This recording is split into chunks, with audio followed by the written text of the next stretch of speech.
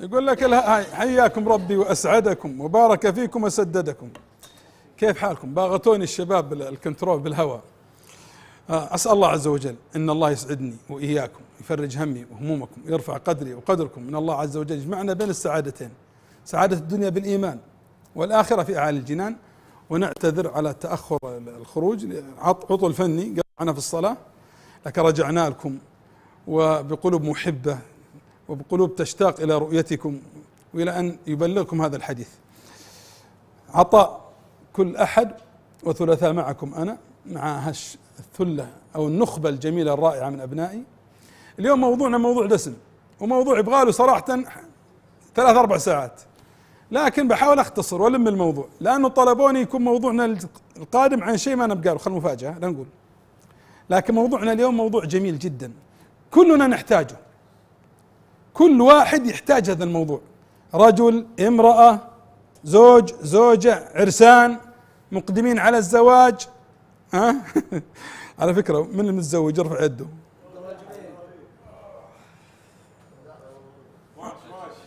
حطمتون. ولا واحد متزوج. ما في إلا أنت بس. متزوجين؟ طيب تمام. ما متزوجين. المهم دورة هي دورة دورة للعرسان تعتبر لكم. اسمعوني. ترى الوقت راح اليوم. اسمع يا مطوع. انت يا الحلو اسمع. الوقت راح. شفتوا؟ ولذلك بحاول إيش؟ أكسب كل ثانية في هذا الموضوع. أنا مسمي موضوعنا اليوم اسمه خلطة السعادة الزوجية. خلطة السعادة الزوجية. الزوجية. كثير من البيوت انهدمت وحصل الطلاق. وقد يكون قبلها شيء يسمونه الطلاق العاطفي وهذه كلمة اكتسبتها من مدربتنا الرائعة المستشارة الأسرية زوجتي أم جود. استفدت منها كثيرا. تحية لها في هالليلة. ولها دورات جميلة. دورة اسمها الطلاق العاطفي من أجمل الدورات. مو لأنا زوجتي أمدحها لا والله لأنها مبدعة فعلا. فأنا استفدت منها. هناك ما يسمى بالطلاق العاطفي قبل الطلاق الحقيقي. والسبب إنه بعض هذه الاشتراطات أو بعض هذه النقاط اللي بقولها فقدت. طبعا الموضوع جميل ويبغى له وقت ووقتنا راح لكن بحاول أختصر. ولي اسلوبي في طرح القضايا وطرح المسائل يمكن عرفتوه. أحب أجيب القصص الجميلة. ومن خلال القصة بنعرف ما هو الأدب أو الخلق الذي نحتاجه. ما أنا بقايل استنبطوا أنتم إيش الخلق اللي نكسبه ونكتسبه ونعرفه من خلال هذه القصة؟ أول قصة نبدأ بها. قصة جميلة من قصص السلف. رجل يسمى أبو محمد النيسابوري.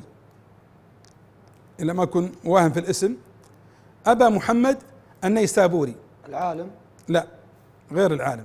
هذا رجل من الصالحين لكن ليس من أهل العلم وليس من أهل المناصب.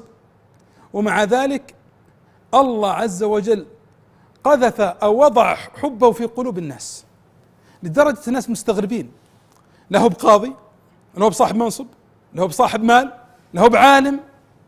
فيوم من الأيام أحد الذين يعرفه يعرف هذا الحب العظيم من الناس له صلوا وياه في المسجد وطالعين. يا أبا محمد قال نعم. قال إني أرى حب الناس لك أشوف الناس يحبونك حب عجيب. ومع احترامي لك على قولتهم بيننا بالعامية. ها؟ مع الاحترام والتقدير. ليست بيدك من نعم الناس يرجونها ويطلبونها منك. صاحب المال تتزلف له بعضنا تتزلف صاحب المال عشان القريشات صاحب المنصب عشان الواسطة هذا لا. فما السر؟ ما سر هذا الحب؟ ما سر هذه المكانة في قلوب الناس لك؟ قال وتكتم أمري؟ قال نعم. قال واسمعوا القصة العجيبة. يقول قبل خمسة عشر عاما كنت أسير في الطريق فإذ بامرأة تسلم علي. السلام عليك يا أبا محمد. يقول لم أرد السلام. امرأة في خلوة. فأعادت السلام. السلام عليك يا أبا محمد. ما هكذا يفعل الصالحون؟ قالوا عليك السلام ورحمة الله وبركاته. قالت يا أبا محمد إني فيك لراغبة وإني امرأة صالحة جميلة نسيبة وإني فيك لراغبة. القصة طبعا جت بروايتين. أنها دلتها على بيت أهلها فأتى خطبها من أبيها وإنها إنها تزوجت ذهبت للسلطان أو القاضي وزوجها. الشاهد تزوجها. فلما تزوجها الرجل لما مدحت نفسها أن ذات جمال ونسيبة وحسيبة ما حرص على الرؤية الشرعية. وهنا نقطة مهمة جدا. لعل رسالة جت في وسط الرسالة. الحرص على الرؤية الشرعية.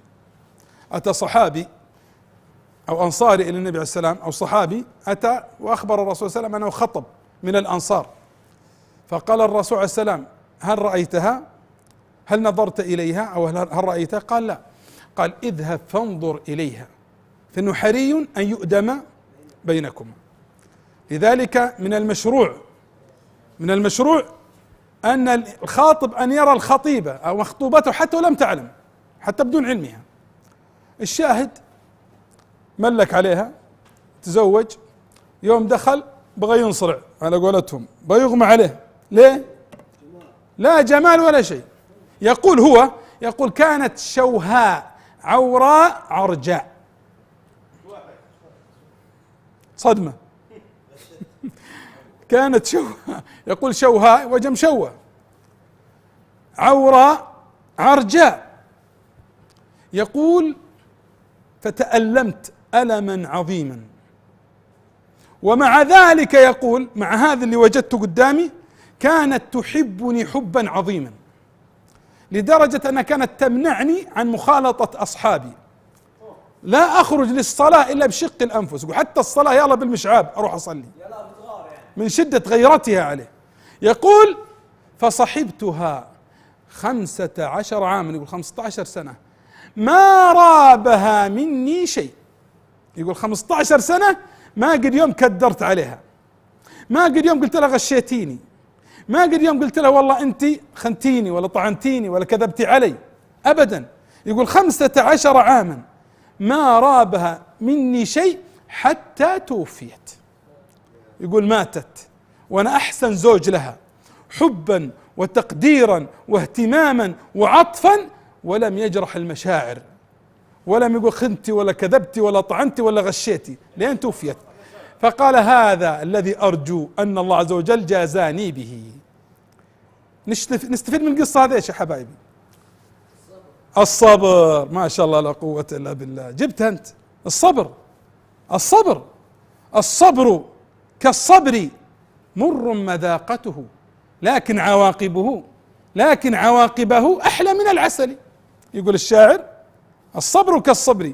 مر مذاقته. لكن عواقبه أحلى من العسل. ما تمشي الحياة الزوجية إلا بالصبر. اسمعوني يا متزوجين يا عرسان جدد. لابد من الصبر.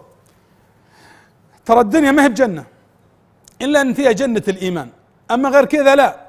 جبلت على كدر على نكد. لقد خلقنا الإنسان في كبد في الهم في الضيق في الزعل. لا تظن أن على بعضهم يصور الحياة الزوجية أنها سعادة تامة. ابدا. بيت النبوة. في أفضل من بيت النبوة بيت محمد عليه السلام حصل فيه حتى الطلاق. حصل فيه العتب والهجر. هو افضل البيوت الزوجية بيت محمد عليه السلام فلا تظن أن بيتك سوف يسلم. إذا لابد تعود نفسك في شيء بيصير في خلاف. وعلى قولتهم ترى هذا ملح. الحياة. على فكرة إذا أنت دائما عسل عسل عسل عسل ما قد يوم ذقت مرارة العلقم ولا الملح ما تحس بحلاوة العسل. لكن لما أحيانا عسل ثم غيرها؟ ولا اللي طايح بس مضغوط دجاج مضغوط دجاج مضغوط دجاج؟ بيمل لكن يوم مضغوط دجاج يوم مشويات يوم بتشتاق للمضغوط فهمتوني؟ لذلك الاستمرار حتى على ما تحبه النفس بيأتي يوم تمل. جيت على الجرح أنا والمضغوط ها؟ طيب أنا ما ودي أسمع منكم سامحوني. عشان الوقت إيش رأيكم؟ تسمحون لي بس؟ ولا بعطيكم دقيقتين إذا عندكم تعليقات عشان الوقت راح. لا أوقف لا يوقف قولوا. لا يوقف لا يوقف. خذوا القصة الثانية أجمل منها. مع الإمام أحمد بن حنبل. إذا عرفنا إيش؟ أول حاجة نحتاجها إيش؟ الصبر. الثانية واستنبطوا لي إيش الفائدة اللي منها. الإمام أحمد بن حنبل رحمه الله اسمعوا الكلمة اللي قالها. ركزوا معي متزوجين. الكلمة التي قالها الإمام أحمد بن حنبل. تزوج. تزوج ومكث مع زوجه يعني زوجته أيضا 15 سنة زي أخوينا الأول النيسابوري مكث مع زوجه مع الزوجة خمسة عشر عاما حتى توفيت أم عبد الله. اسمها أم عبد الله. توفيت. فلما توفيت سئل عنها كيف كانت هي من زوجة؟ كيف كانت معاك؟ بعض الرجاجيل اسمحوا لي يمكن حتى ما نقول رجاجيل بعض الذكور. سيء عشرة. الله يقول ولا تنسوا الفضل بينكم. يقول مين اللي افترق ولا راح؟ يقول لا تنسى الفضل. بعض الناس لا. إذا ماتت الزوجة ما يذكر محاسنها يذكر عيوبها. مع أن يمكن عيوبها لا تقارن بمزاياها. مز... عيوبها لا تق... جاحد. جاحد. ما يثني عليها ما يذكرها بخير بعضهم. لذلك من الطرف خلنا اقولها بس نضحككم ضحك المشاهدين إن في واحد آه متزوج ويوم ماتت عجيزه يوم ماتت العجيز حزن عليها وقعد سنة سنتين جاء عياله قال يبا تزوج. أنت لحالك ووحيد ما حولك أحد تزوج. اقنع قال بعد أمكم ما في زواج. أقنعه لين تزوج. يوم تزوج اختاروا واحدة في نص عمرها على قولتهم واحدة متعلمة فاهمة واحدة عارفه الدنيا فأحسنت التبعل إليه. أحسنت إيش؟ التبعل إليه. اهتمت به تغيرت نظرته. يوم جاء وقت عيد الأضحى قال يا فلان قال سم قال اليوم نبغى عيدنا ضحيتين طيب إيش القصة هي؟ في جزء نسيت أنا.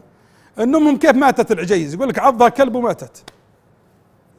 عضها كلب تسممت وماتت. يوم جاء وقت عيد الأضحى.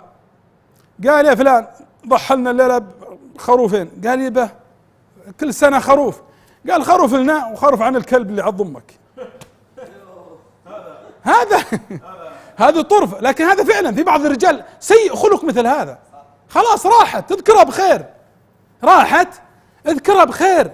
حتى لو أن الله عز وجل أكرمك بزوجة فيها ما لم يكن في هذه خلاص. ولا تنسوا الفضل بينكم. الإمام أحمد بن حنبل لما سألوه عن زوجه عن أم عبد الله قال اسمع الكلمة الذهبية. قال صحبتني أم عبد الله أو صحبت أم أم عبد الله خمسة عشر عاما ما رابني منها شيء إلا مرة واحدة. يقول خمسة عشر سنة ما جاني منها زعل ولا اختلفنا إلا مرة واحدة وكنت أنا لها ظالما يقول أنا كنت غلطان. يقول خمسة عشر سنة. ما اختلفنا ما زعلتني ما ضيقت صدري. يقول إلا مرة واحدة اختلفنا وأنا اللي كنت غلطان. أنا اللي ظلمتها. هذا الإمام أحمد يعطينا درس في إيش؟ في إيش؟ صبر قلناه قبل شوي. وين؟ صح النوم؟ ها هيك أبغى كلمة أنا بس. الوفاء. بعدي. إذا الوفاء أجمل وفاء لما يكون بين الزوجين. إذا جاك الشيطان خذها كلمة الآن يا متزوجين. إذا جاك الشيطان يهول لك بعض الأمور اذكر وقفاتها. اذكر تعبها عشانك. أكيد لها تضحيات. أقل شيء قابل هذا بالوفاء. إذا نحتاج في حياتنا الزوجية إلى وفاء. بعد الصبر إيش؟ وفاء. الوفاء. خذوا الثالثة عشان الوقت يمشي. وأنا والله كان ودي أقول أشياء وأشياء. في دقيقة بس عشان تفضل. هذا من القصص اللي قريتها مرة. واحد جاء بينه وبين زوجته مثل المشكلة. وكانوا يجون يقولون وش المشكلة وكذا. وقبل في اثناء المشكلة. قال ما أقدر أقول لكم الحين. وطلقها. يوم طلقها جو قالوا قلنا وش المشكلة. أو جو عندها. قالت أنا ما صوت قلت الصوت. قالت أنا ما قلت وش المشكلة؟ وأنا على ذمته. بقولها وأنا زيد فارق ذمته لما عاد هو بزوجي ولا. ففيه للأسف إن حتى إذا حصل الطلاق المفروض إن الواحد ما يلحق المرأة بكلام ولا هي تلحقه بكلام. خلاص ما حصل الوفق. والتوفيق كل راح في دربه استر عليه واستري عليه. حتى لو المشكلة بسيطة جميل. لا تقولينها. شيء ونصيب ما حصل والله يستر عليك. وسلامتك. الله يسلمك. الله أعطانا إياه ولا تنسوا الفضل بينكم. جميل جدا لمسة الوفاء. اللي أنت أكملت فيها الفائدة. فخلاص رزق انقطع. الله بيسوق لها الأخير بيسوق لك الأخير. طيب نجي القصة الثالثة. الله يرحم الحال. إي والله.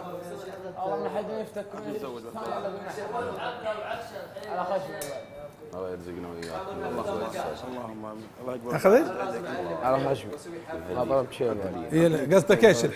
حفلات الطلاق. إي والله هذه من الاشياء إي؟ اخ الآن إحنا نعرف حفلات الزواج. حفلات الطلاق نعم. هذه من السلبيات. حفلات الطلاق؟ من السلوكيات. على فكرة كلمة أقولها لاخواتنا آه حبايب اسمعوني يا عيالي. كلمة أقولها فعلا. كلمة أقولها لاخواتنا اللي فعلا حصل الطلاق. إيش الفائدة من حفلة الطلاق. يسوون حفلة الطلاق إيش الفائده اولا خسارة فلوس. والله أنا قادحه خسارة فلوس وسمعة. لا يغرك اللي يطقطقون حولك. ترى الناقدين أكثر. الذي ينتقدونك وينتقصونك أكثر من اللي يطبلون يصفقون لك ويرقصون معك. بالعكس قد هذا يجعل لك سمعة سيئة. حتى لو في رجل بيتقدم إليك هذه النقطة تجعله يحجم ما يقدم عليك ما يقدم عليك. لأن هذه يرى من السوء من العيوب التي أنت أظهرتيها. بسرعة اختصرها أنا أقول يزيلك يا شيخ. أنت أجمل. يا شيخ يمكننا ناشب لها وكل عشان يمكن يمكن مصيبة معها. الرجال يعني شين. شين بشكل ما تتصور. شيخ خلاص الله فكك منه. لذلك هنا نقطة مهمة جدا. لا نكون نحن من الذين يسنون السنن السيئة. لا نكون من يبتدعون. لذلك تعجبني كلمة للإمام أحمد. قالها لابن عبد الله الإمام أحمد بن أحمد حنبل؟ قال يا بني لا تكن رأسا إن الرأس كثير الأوجاع لا تكون رأس. لا تكون انت السبب في إطلاق منهج خاطئ ولا فكرة خاطئة ولا سلوك خاطئة. ترى الناس يتبعونك تجر أنت الأوزار. يوم القيامة تأتي بأوزارك. أوزار من تبعوك إلى يوم القيامة. اذا قلنا إيش؟ الوفاء. ها أه؟ القصة الثالثة. قصة رجل. هذا الرجل وجد من الزوجة حبا عظيما. هذا العالة ذي أعرفها أنا. وجد حبا عظيما من الزوجة في ظل أنها وجدت منه الكره والبغض. وتحبه حب عظيم.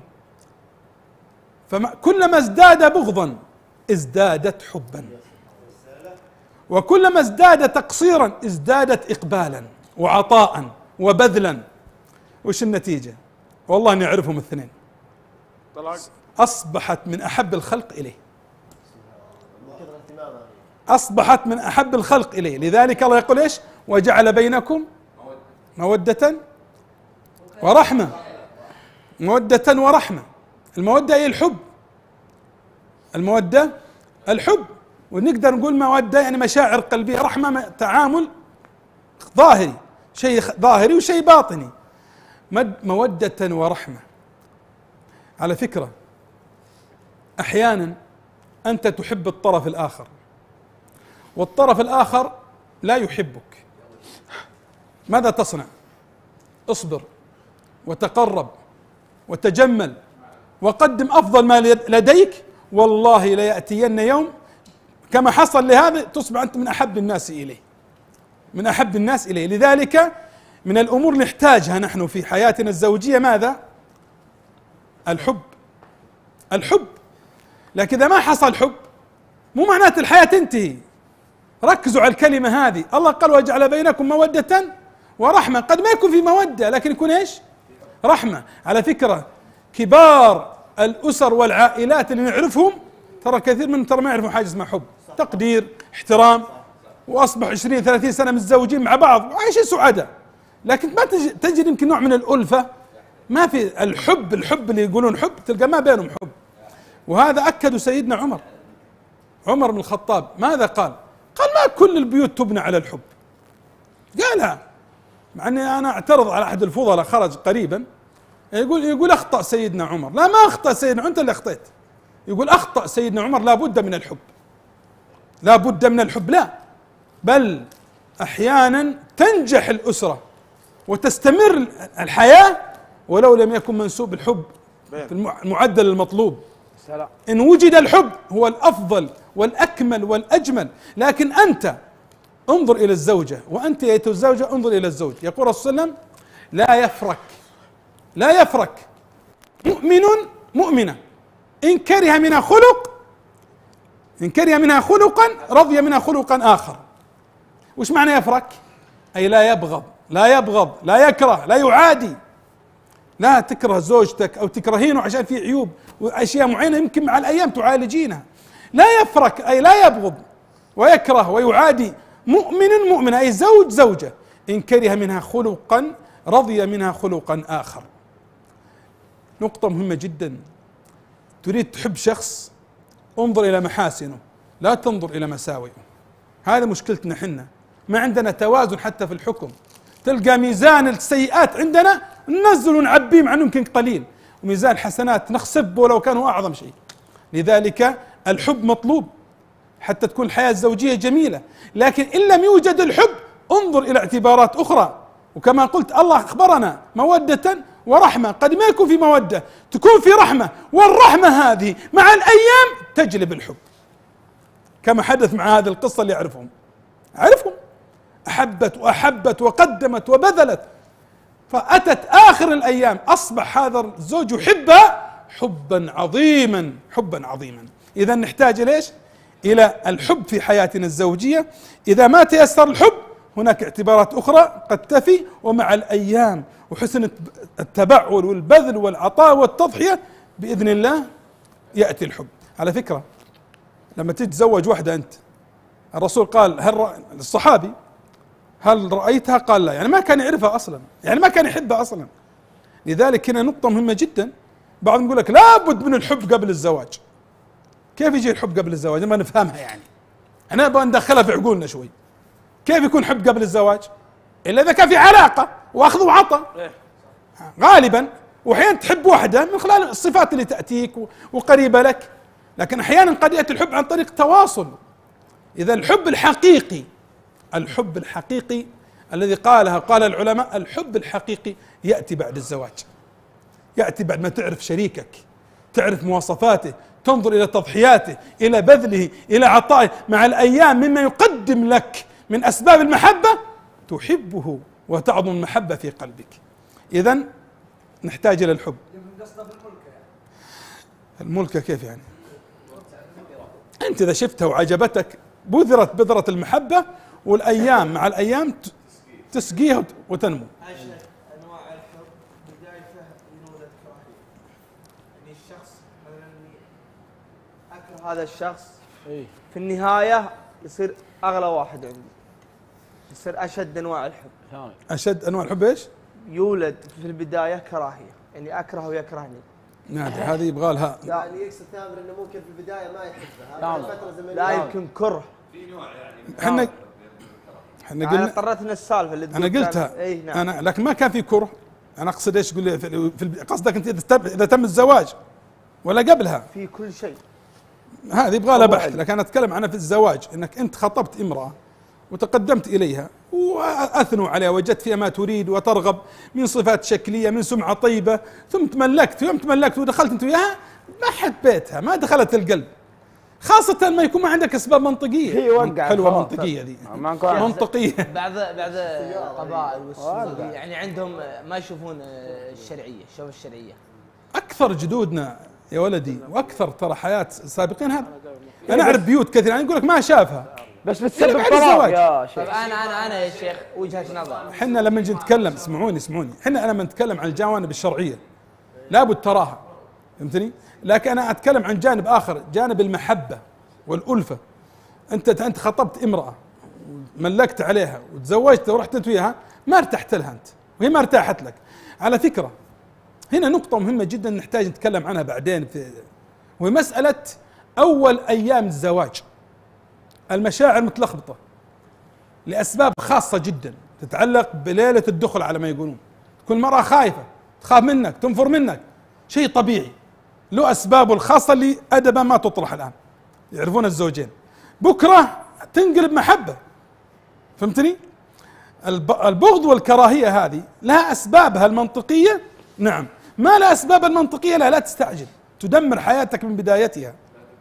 فهمتني؟ أنا كثير من الأسر المتزوجين يأتوني. شباب أول أيام الزواج هي تبكي وخايفة وتبغى عند أهلها وهو ينفر. ومن ذا الكلام. والسبب إيش؟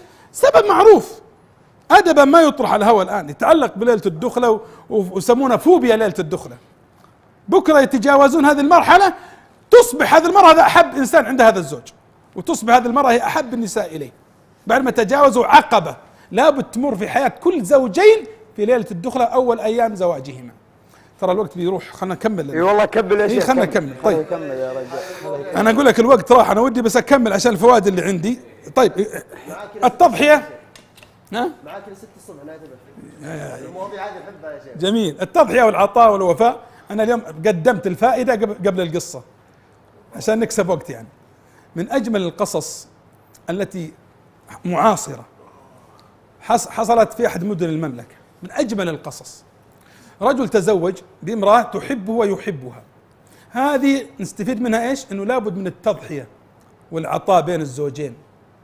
مركب كلنا نقوده سوا الزوج والزوجة. لابد أنا أقدم وتقدم بدون استغلال للطرف الآخر. لا إحنا نكمل بعضنا. نكمل بعضنا. فهذه القصة جميلة جدا. زوجين بعد خمس ست سنوات ما في عيال. الزوجة راحت طبعا والزوج بعد خمس ست سنوات يكشفون. عند الدكتور أخذ العينات أخذ تحاليل. ف إيش اللي حصل؟ ذهبوا على أساس إنه يوم بكرة يجون التحاليل. جاء الزوج.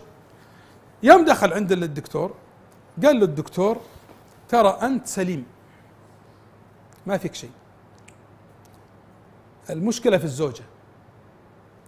الزوجة عندها مشكلة. هي اللي مؤخره الإنجاب. وعقم يحتاج إلى علاجات وذي لكن صعب جدا الإنجاب. قال له طيب إيش أبغى منك حاجة دكتور. قال نعم. قال بكرة بأجي أنا وزوجتي. لا تقول السبب فيها. قول السبب فيني أنا. سلام. لا تقول. قول يا ترى دكتور قال ما أقدر. قال لا أرجوك. هذه حياتي. ولا. لا أريد أكسر قلبها. لا أريد احطم مشاعرها. لا أريدها أن تنظر لنفسها بعين النقص. فيؤثر ذلك على الحب والحياة بيننا.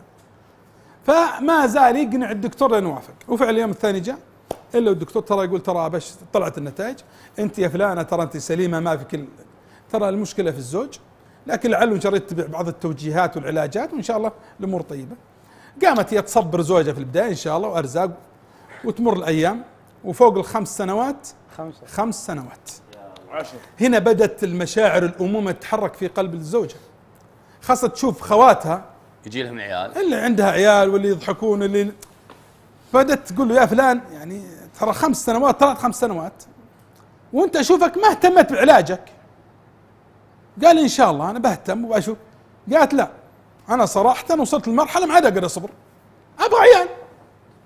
عشر سنوات راحت من عمري. قال لي يا فلانة اصبري والصبر. وكذا قالت ابدا. وبعد قلة الحياة ووصلت المشكلة وصلت لأهلها.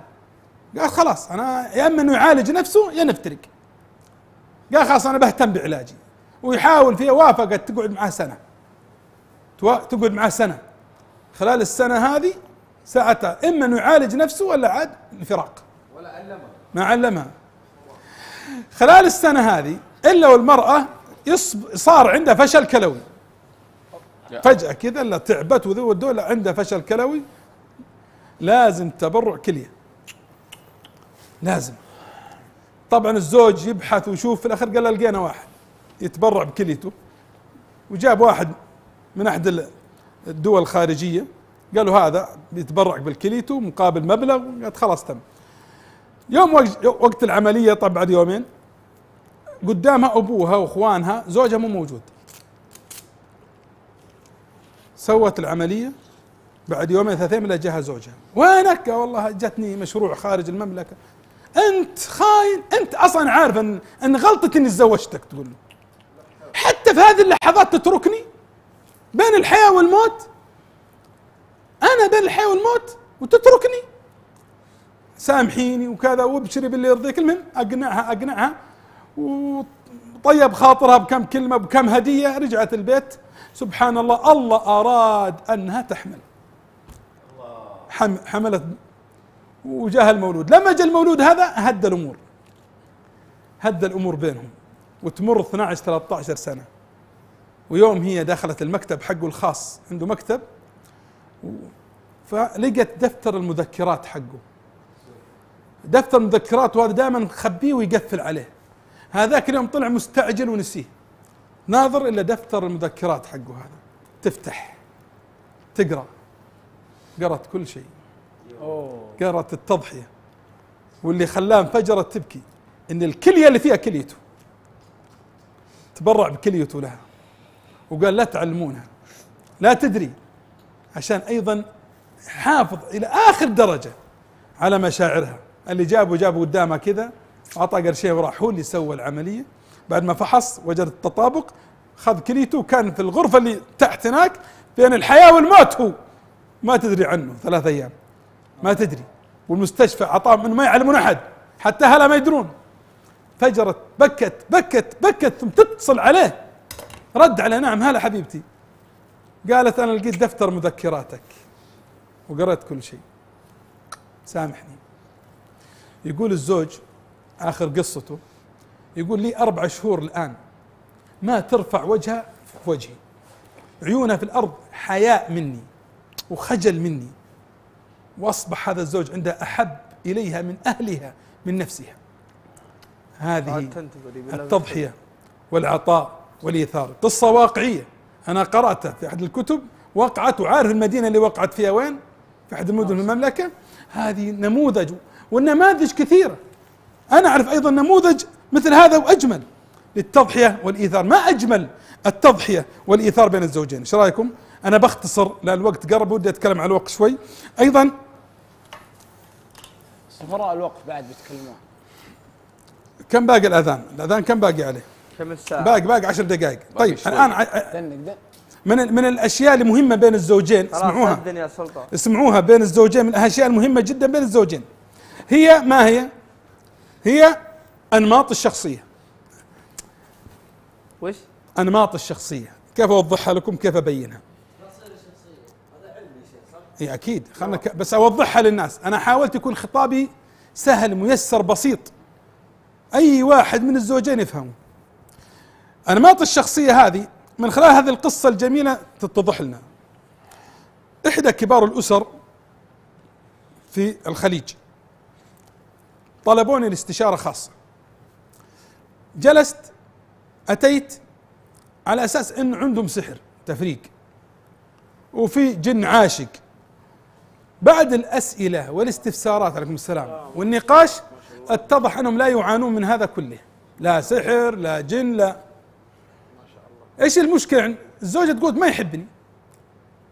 الزوج يقول والله هي نافره مني ما تدانيني وأحس جفاف عاطفي بيننا وأحس وأحس وأحس. فلما سألت ورقيت وناقشت اتضح لي عرفت إيش المشكلة؟ المشكلة في أنماط الشخصية. حسي بصري لمسي. سمعي.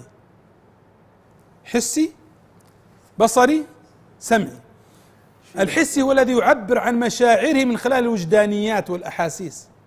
الحسي اللي يعبر عن طريق الورد وال- والشموع والبيت الشعر الغزل وال- والعواطف والمشاعر. البصري اللي يعبر عن حبه بالماديات بالهدايا بالأشياء المحسوسة والملموسة. الزوج بصري. والزوجة حسية. هي على قول اسمحوا لي شوي تضبط الليالي الحمراء والورود والشموع وتحط القلوب اللي على ال... هنا قلوب هنا قلوب على المرايه اللي كبرها. وأحبك وأنت الدنيا وأنت الحياة وانت وحطت له الورود الحمراء. إي ويا يلغلا فهو هذا مو نمطه. هذا مو نمط شخصيته. في تشوف إنه جاف مشاعر ما يحبها. وهو يعبر عن حبه بماذا؟ بالهدايا. بالخواتم الألماس. بالسيارة الفخمة اللي جابها عند الباب بالحساب في البنك يصك بذاك المبلغ الفلاني بالتمشيات اللي في أكبر الأماكن بالأشياء أسوي- المحسوسة أسوي بالماديات. يا شيخ. سم؟ أشتري لها سياره فاخره إيه؟ وأوديها وأفعل. يشتريه هذا ع- عائلة أعرفها معروفة أنا. الشاهد. إذا أنا الله كم معطيني سويت هذا الله ما اعطاني راح أشتري لها سياره فاخره أنا أتكلم عن رجل هذه إمكانياته. هي كل رجال وأتك... خلنا اكمل لا, لا, لا. أنا أتكلم عن رجل هذه إمكانياته. الله معطيه ستة سبعة مليار يعني إيش المشكلة عنده ما يجيب لها؟ فهمتني؟ فإيش أتكلم؟ أنا أتكلم إنه الآن هو يعبر عن حبه من خلال نمط شخصيته البصرية ويحكم على مشاعرها من خلال هذا النمط. هي نفس الشيء. تعبر عن حبها من خلال نمطها الحسي وتحكم على حبه لها من خلال هذا النمط. شوف إنه ما قد يوم قال لها أحبك. أو كتب لها الأشعار ولا اخذها في ليلة رومانسية ولا وهو نفس الشيء يقول ما قد يوم جابت لي هدية زي ما جبنا. ولد. وردة بريال ولا وردة بالمبلغ حق هذا دولتهم الكلام يا شيخ إيه؟ ريال وردة ريالين. بكذا؟ هذا المشكلة. رخيص. اختلاف أنماط الشخصية. لذلك أنا رسالة أوجهها لكل زوجين خاصة لا زالوا في بداية حياتهما. تعرفوا على هذا. أنا دخلت كثير من البيوت والأسر. وجدت من أسباب النفرة والمشاكل بين الزوجين واتهام كل زوج للآخر بأنه ما يحبه هذه القضية انماط الشخصية. لابد تعرفين نمط زوجك إيش؟ وأنت لابد تعرف نمط زوجتك إيش؟ عشان لا تظلمها وأنت لا تظلمينه. لا تظلمينه ما يحبك تلقين يمكن يحبك حب جنون ويموت فيك بس يعبر عن حبه من خلال نمط الشخصية حقه. وأنت أيضا لا تظلمها ترى يمكن أغلى من عيونها أنت حياتها لكن تحكم على حبها تبين لك حبها لك من خلال نمط شخصيتها. اهتموا بهذا الجانب. وأنا أحط وأرفع يدي تحية وتقدير للمراكز الأسرية التي تقيم مثل هذه الدورات. مهمة جدا أن نتعرف إليها. لذلك مهم جدا للزوجين والعرسان الجدد أن يقفوا على هذه. مهمة جدا أنماط الشخصية. أنا بأصل اللي عنده الأذان ترى جهز نفسه بعد سبع دقائق. مهمة جدا. مهمة جدا. انماط الشخصية ترى مهمة جدا. طبعا إيش اللي نكمل قصتنا مع ذيل الاثنين؟ فقلت لها أنا قلت لها ممكن أسألك سؤال؟ قالت اسال قلت لها تحبينه؟ قالت أموت فيه. إي والله. قلت أنت تحبها؟ قال هي حياتي. إي والله. قد شفت أنكم تحبون بعض. مشكلتكم ترى له سحر ولا جن.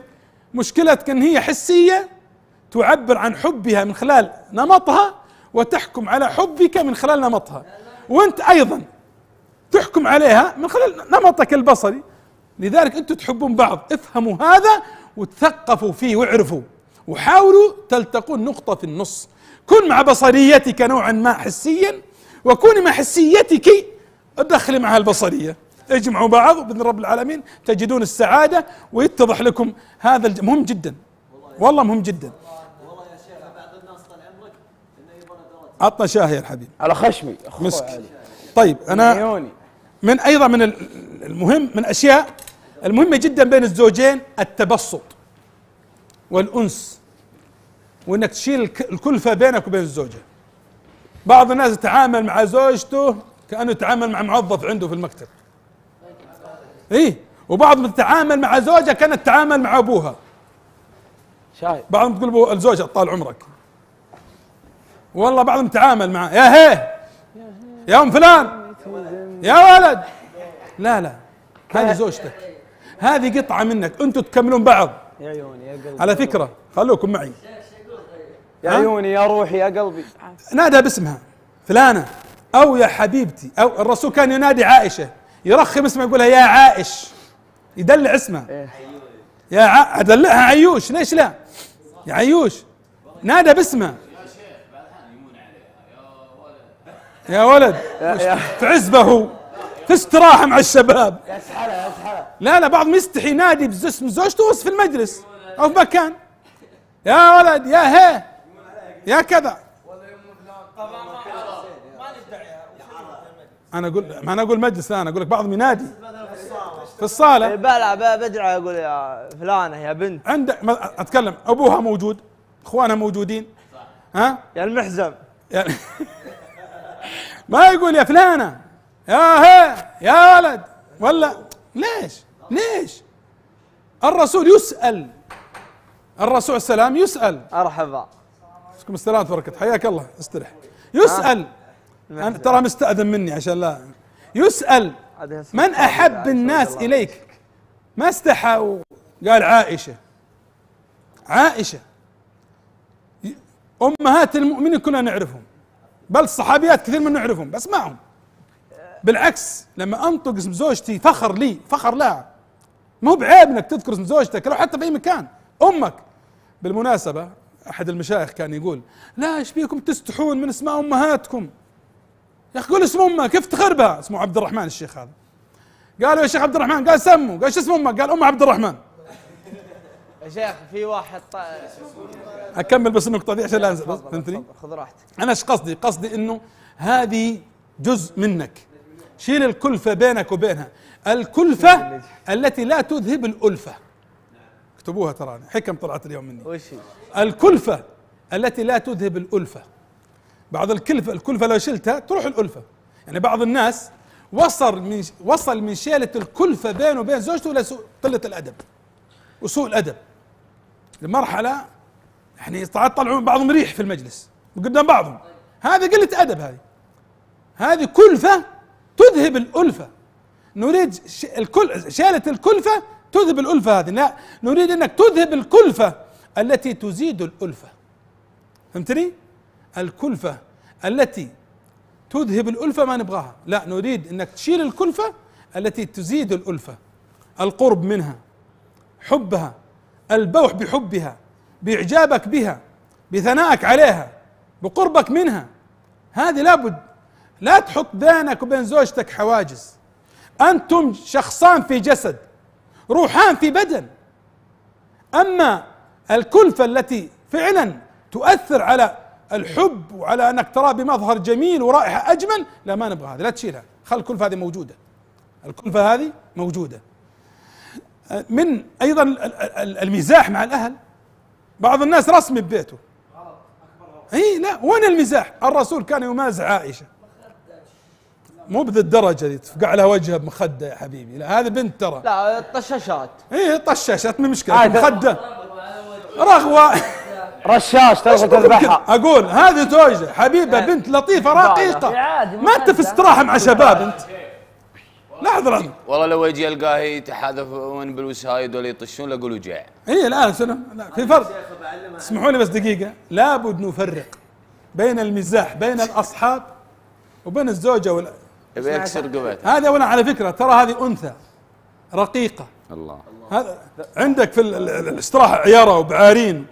لو تخبط فيه لين بكرة ما جاء شيء لا يضحك. تخبط فيه العصا وهي يضحك لك. لا هذه لو تذبها مسكينة ب- ب- بكرتون هذا توجعت وطاحت لا لا. وين الرقة وين اللين؟ وين وين الرقة أبشر أنا جايك أنا ما أنا تاركك راجع. وين الرقة وين اللطف؟ وين اللين؟ امزح المزاح اللي يناسبها يناسب أنوثتها. يناسب رقتها. فهمتني؟ أما لا. تمزح مزاح رجال طيب معاها. رغيق شلون؟ أنت معلومك يا رجال أنت- منه أنت- لين أنت- تتزوج. اولا أنت بتتزوج أنت إذا جيت تتزوج لازم تاخذ دورة أنت في التعامل مع النساء لازم. شيب لابد تفرق. عندك مشكلة. لابد يعني أجيب أدوات رغيق شيخ المفروض ذا الموضوع الخلاصة. شنو شنو بسام؟ اللي بيأذن مين يا شباب؟ يروح الأذان. اللي على. الأذان يروح. أنا بروح. آه خليني أكمل قبل يبدين يا شيخ. تفضل عشان إيه. برجع أختم النقطة. دي. يلا لأن إحنا بسالفة آه، لا. بعض البنات بعد الله يجزاهم خالد. هناك تعال ارجع. خالد بيأذن. خالد بيأذن ارجع. روح طيب. رحت كنت خالد سوي اللي يعجبك. ننت... ننتقل الاذان بعد صل... ننتقل بعد الأذان كمل. الحديث هذا ترى حديث شيق. وأنا أنا قاعد أختصر لأني صار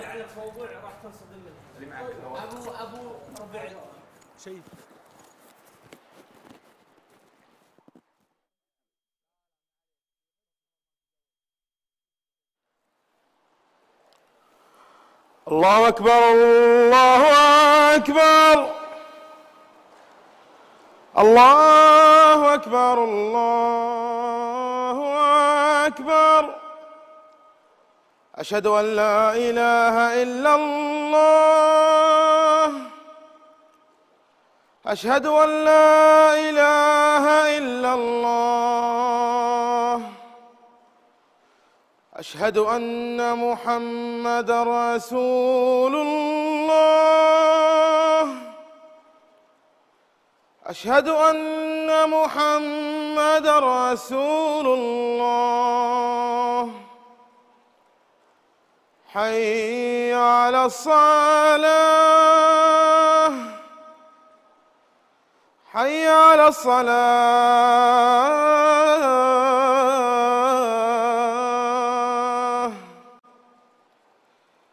حي على الفلاح.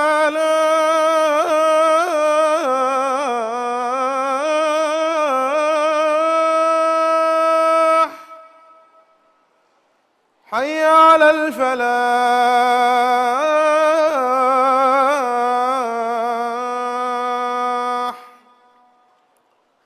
الله أكبر الله أكبر. لا إله إلا الله.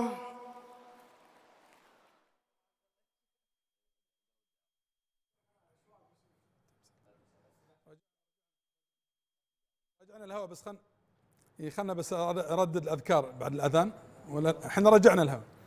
أنا عارف إن رجعنا الهواء بس خلنا أقول ال- الدعاء بعد لأن هذا الدعاء يقول الرسول صلى الله عليه وسلم من ردد خلف المؤذن.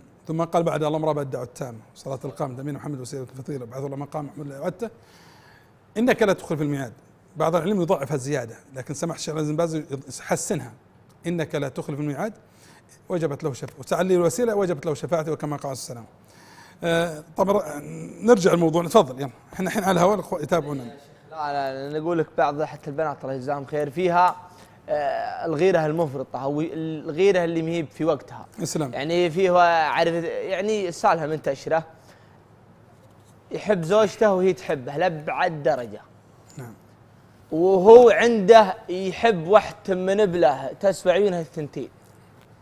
واحدة من نياقة تسوى عيونها الثنتين. اسمها طياحة. اسم طياحة. طياحة لا نعم جاي مازح مرتها قال طياحة طياحة يعني أدعيها. تزعل المرأة تقول لا عاد تقولها لي. طياحة طياحة وأنا أنا.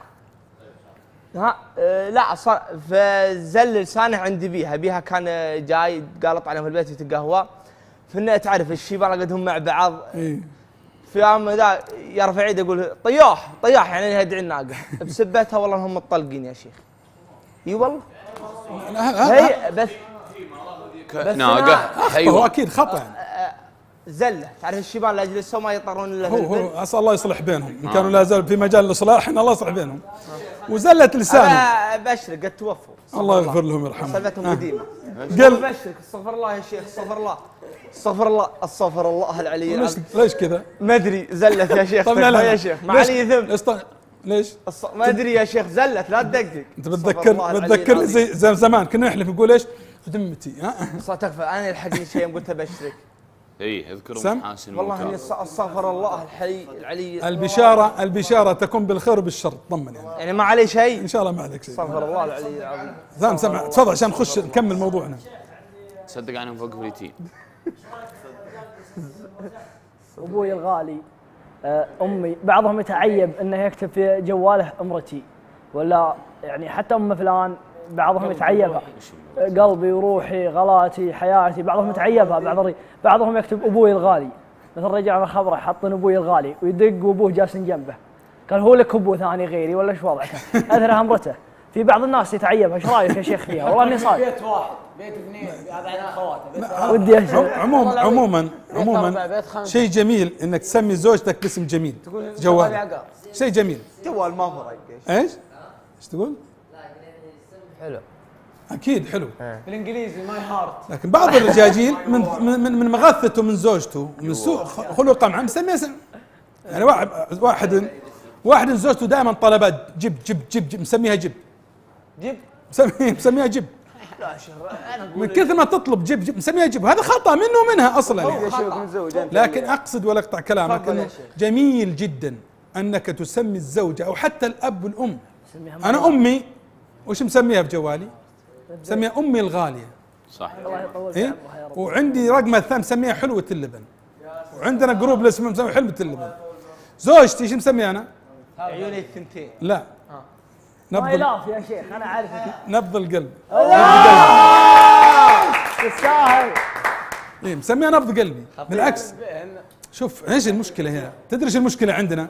أنا بقول كلمة اليوم أتوقع يا ليت تنتشر في كل مكان. يا ليت. أتمنى تنتشر. على فكرة يا أبنائي ويا أحبابي ويا بناتي يا أمهاتي ديننا دين متكامل. دين كامل. راعى حتى المشاعر والأحاسيس. المشكلة إنه طلعت طلع نوع من الذين ينتسبون للدين شوهوا الدين. شوهوا الدين. حتى في الجانب هذا جانب المشاعر. ظنوا إن أهل الدين هم أهل الشدة والبعد عن المشاعر. لا. بل الحب والبوح بالمشاعر تجد عند أهل الاستقامة للدين والالتزام. ديننا علمنا. نقف على هدي الرسول صلى الله عليه وسلم. نشوف كيف يتعامل كان مع الزوجات مع زوجاته مع ابنائه حتى تكرمون مع البهائم. كيف كان يتعامل؟ قمة التعامل قمة المشاعر قمة التضحية قمة الحب قمة الحنان تجدها في هدي الرسول عليه الصلاة والسلام. المشكلة ليست في ديننا. المشكلة ليست في منهج رسولنا عليه السلام. المشكلة في الذين ينتسبون لهذا الدين. هم اللي شوهوا هذا الدين حتى في جانب العواطف والمشاعر. أنا أتألم وأقول وأتمنى كل معدد يسمعني. بعض المعددين حتى أساءوا للتعدد. من الظلم للزوجات. من القدح في الزوجات. أصبح بعضهم يتعدد ليش؟ عشان لذة وشهوة. ما ينظر جوانب سامية. يا أخي تعدد إذا كان لك رغبة ما هي مشكلة. لكن لا تظلم. لا تظلم. اتقوا الله في حق الضعيفين قال رسول المرأة واليتيم أو كما في الحديث. يوم القيامة الرسول يقول استوصوا بالنساء خيرا فإنه عوان عندكم أي أسيرات. هالضعيفة المسكينة. كابتها كبت ثم تجيب واحدة ثانية وثالثة ورابعة. لذلك أنا أقولها صراحة ديننا ليس فيه خلل ولا زلل ولا خطل. بل من بعض الذين ينتسبون إليه وفي هذه الجوانب جوانب المشاعر والعواطف والحقوق الزوجية التي قصروا إليها فشوه صورة هذا الدين ونفروا الناس. يعني ما خرجوا أولئك الذين يقدحون في ديننا من أعدائنا. يقدحون حتى في التعدد ولا في الزواج ولا في غيره من من أعداء الدين ليه؟ من أسباب ذلك هذه النوعية. الذين ينتسبون للدين والدين منهم براء. نرجع لموضوعنا. خلنا نكمله. نرجع نرجع. خليتوني طلعت شوي شكل بس الله يرفع. طيب من من الجوانب المهمة بين الزوجين الإكرام. الإكرام. المرأة أو النساء لا يكرمهن إلا كريم ولا يهون إلا لئيم. المرأة تحب الرجل الكريم. والرجل يحب المرأة الكريمة. الكرم الذي بدون إسراف. وكرم عام. مو بركة كرم بس فلوس لا. عاطفة ومشاعر واهتمام لازم من الإكرام. بسام خطيب من, من أجمل القصص التي والله قبل حوالي 25 سنة حدثني بها من يعرف صاحبها. من 25 سنة ما ما نسيت القصة دي أنا. لأنها قصة ما تنسى. بقول لكم أنتم ناسينها. من أجمل القصص لرجل في أحد الدول. الله معطيه خير. مدحوا له بنت راح خطبها من أهلها. أهلها يحبون فلوس. هذا الله معطيه خير. ملياردير. اللي يبغونه اعطاهم ودبل. لدرجة إنه أكرم إخوانها وأكرم خوالها وأكرم اعمامها أكرم فردي. رجال الله معطيه. إي والله. الشاهد إيش اللي حصل؟ شال الزوجة وراح للقصر. الزوجة الثانية هذه. لها قصر غير قصر ذيك. وراح للقصر. دخلوا غرفة النوم. إلا انفجرت تبكي. تبكي. تبكي. إيش فيك يا بنت الناس؟ من أحد الدول العربية. قالت أنا ما بيك. أنا اجبروني عليك. تراك جيت وأنا مخطوبه لواحد من قرايبنا. وملكتنا كانت قريبة. يبيني وبيه وخاطب من قبلك. وملكتنا محددة. بس أجبروني عليك. اي عناد ولا؟ عشان الفلوس. شافوك فلوسك زوجوني عليك عشان فلوسك. سكت خرج جلس في المجلس. سنة بركاته ثم قعد حوالي نص ساعة ساعة مدري كم جلس. ثم جاء قال لها شوفي يا بنت الناس لو وديتك عند أهلك الحين ولا بكرة ترى شيء أنت في حقك؟ الناس بيقدحون يقول فيها عيب. فيها بلاء فيها شر فيها سوء. اصبري كم يوم وربنا بيكتب لنا مخرجنا وياك. وخلها أسبوع مدري عشرة أيام حولها. مكرمها لا يجيها ولا ولا انشدوا اهلها ولا يقول ابشركم طيبين. بعد أسبوع أو عشرة أيام تقريبا شالها معززة مكرمة وداها عند أهلها وحطها عند أهلها. قال هذه بنتكم عندكم. والله ما جاني منها إلا الطيب. من خيرة من لقيت من النساء. والله لا فيها عيب. ولا فيها عذروب ولا فيها شيء. لكن أنا شفت نفسي والله ما أني قادر على الزوجة الثانية وما أنا من اللي يبيض الوجه وسامحوني وما جاها هدية لها وما جاكم ترى هدية لكم. طيبة طيبة إي والله. إي والله. آه اصبر قال ابدا. تلقى خير مني وترى والله ما منها العيب ولا منها القصور ولا مني أنا. ومشى وطلقها. قبل 25 سنة. القصة دي قالها الرجال لي يعرف الرجال. وحنا الآن نذكره وندعي له. بيض الله وجهه. هذا الرجل الكريم إن أمسكها أكرمها العاقل وان فارقها ما أهانها. لذلك الكرم وصفة الكرم مطلوبة بين الزوجين. صح. كوني كريمة مع زوجك مو بس فلوس بأخلاقك بتعاملك. وأيضا على فكرة اكرمي أهله وانت اكرم أهلها. خلي الكرم يمتد. بعض الناس يكرم الزوجة لكن مقصر مع أهلها لا خل كرمك يمتد الأقارب لأبوها وأمها. إذا شافتك تكرم أهلها حبك يتضاعف. وأنت كذلك. إذا شافك تكرمين أمه وأهله حبك يتضاعف في القلب. أنا بختصر عشان نلحق الصلاة. باقي بس نقطتين أقولها في هي مسألة من ال- ال- التغافل. التغافل بين الزوجين. التغافل يقول الكنترول يقول مستمتعين هذا يمدحون فيني جزاهم الله خير. كمل يا شيخ ادعس روح. التغافل بين الزوجين لا تخلي من الحبة قبة وانت مشيها. فهمتيني؟ مشوها. يعني أذكر مرة يعني بغيت أض... يعني الله أعلم بالحال بقول قصة لو قلت يمكن الليلة أنا أنا أنام في الحوش نعم عندنا يا شيخ تعطوني؟ أخاف بعطيك بيتين تقولها لك أخاف أنام في الحوش. فعلا. إي والله. لكن معنا. لا لا لا، لا، معكم لا، لكن لا. التغافل. يعني لا تك... نمشي الدنيا لابد تمشي بالتغافل. اسمعوني يا شباب خلوكم إي بالله. إيه. لابد نوع من التغافل بين الزوجين. الملح نقص اليوم في الطبخ لا تدقق. اليوم والله ما مدام ساكنة تطبخ زين ولا انشغلت مشى بالجبن الزيتون. يا ما سوت لك المحاشي والمشاوي وحرقت يدينا وحرقت يدينا من عشانك. عشان اليوم بس ما مداها تعبانة مصدعة. تقوم تقلب الدنيا عليها مشها وأنت كذلك أنت أنت. ما قدر يوديك اليوم آخر عقد الأسبوع هذا. موعدي كان يوديك المحل الفلاني. ما استطاع مشيها. مشوها. تمشي الدنيا بالتغافل. بالتغافل والت- والتغاضي عن دقائق الأمور تمشي الحياة.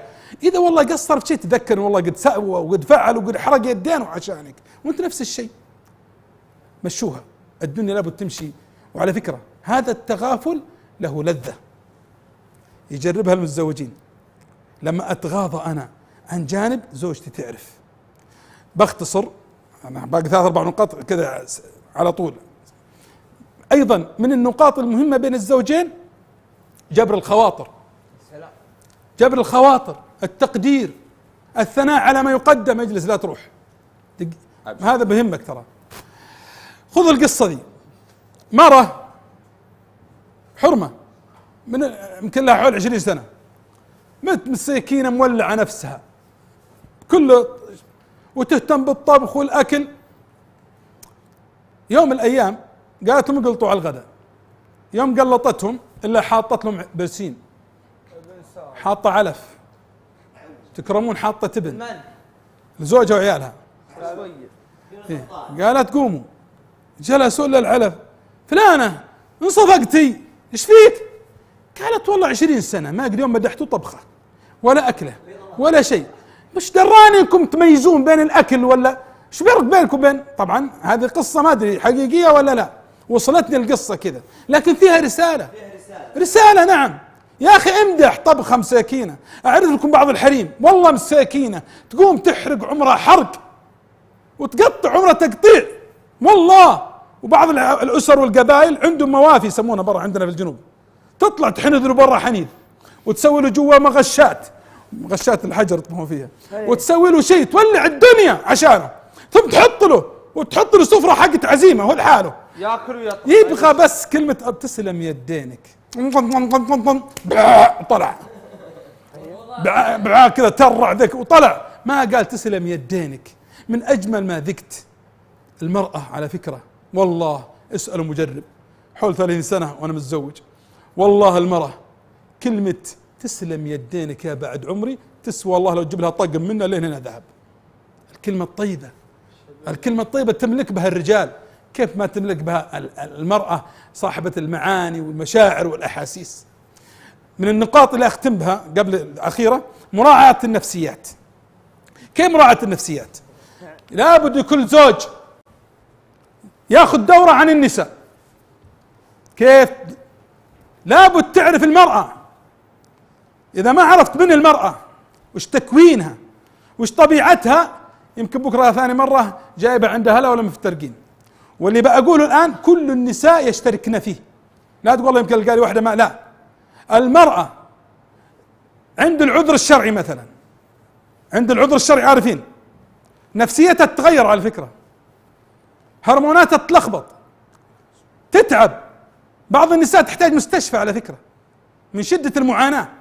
إذا وج... لذلك تجدها في هذه المرحلة الشهرية النفسية تتغير الطبع تتغير الجهد يتغير وكل النساء كذا. لا تقول والله هذه قف- قعت قلبي خلنا أشوف واحدة غيرها. كلهم كذا. كل النساء كذا. هذا الله خلق بنات آدم بنات حواء على هذا. لذلك لابد تراعي هذا الجانب أنت أيها الزوج. راعي نفسيتها أثناء الدورة الشهرية. راعي نفسيتها في الحمل. راعي نفس- نفسيتها في الوحم راعي نفسيتها في الولادة. لابد تراعي. هناك شيء يسمونه اكتئاب ما بعد الولادة. اكتئاب ما بعد الولادة. إذا ولدت بعض النساء تجيها اكتئاب حاد. تكره الزوج تكره الدنيا وتبكي ودها تنتحر مو بيدها. غصب عنها. شيء الله خلقه فيها. لذلك كل زوج نصيحة. اللي متزوج لابد يعرف. واللي بيقدم على الزواج لازم يعرف. عشان يعرف يتعامل مع هذه المرأة يتعامل معها في تلك الأوقات الحرجة. بعض الناس طلق الزوجة والله. على يدي أنا عرفت القصص هذه. والسبب؟ بعض الطل... إيش السبب؟ السبب إنه بعد اكتئاب ما بعد الولادة صارت تبكي وحزينة وما تبغاه.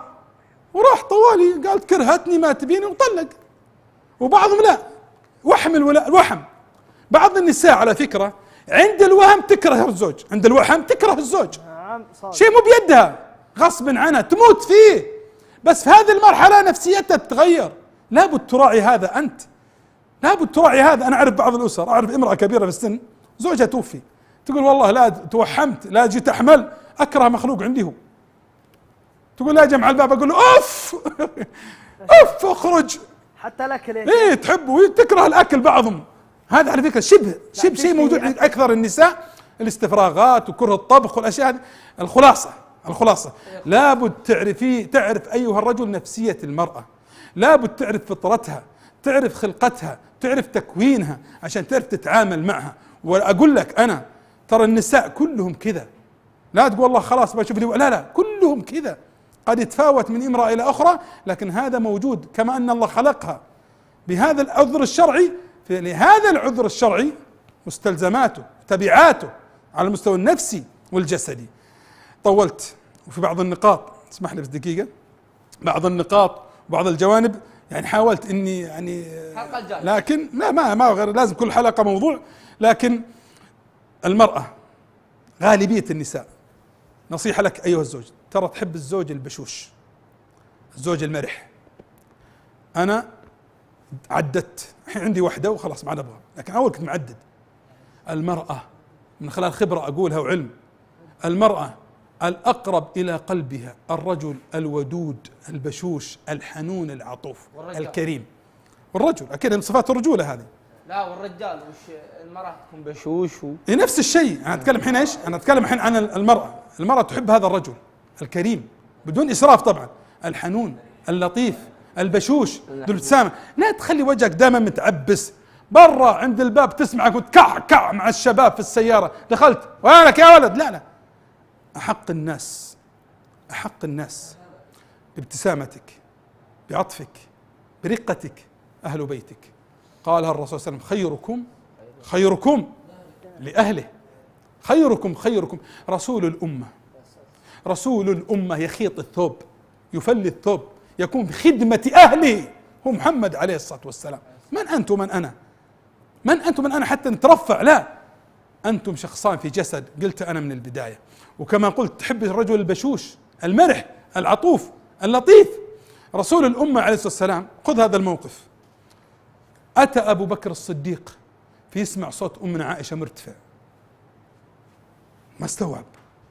رسول الأمة يرفع الصوت عليه وهي زوجها تناقشوا كذا ساعات خصم على المرأة يطلع صوتها. دخل يبي يلطمها.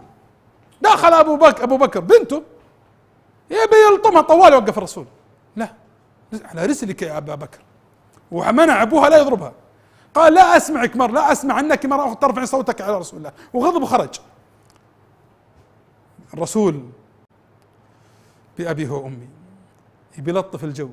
قال كيف رأيتني منعتك من الرجل؟ كيف شفتيني؟ كيف رأيتني منعتك من الرجل؟ يبي يلطف لها الجو يضحكها ويدخل البسمة على قلبها.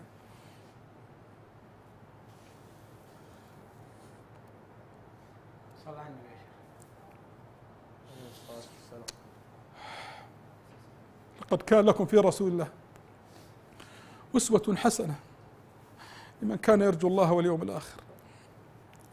الله ما أرسل إلا رحمة للعالمين رحمة في كل شيء حتى في هذه الأمور في التعامل بينك وبين زوجتك ترى رحمة هدي ورحمة في كل شيء.